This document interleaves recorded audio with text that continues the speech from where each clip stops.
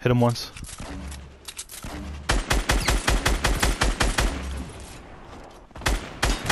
Let's go, man. Uh, uh,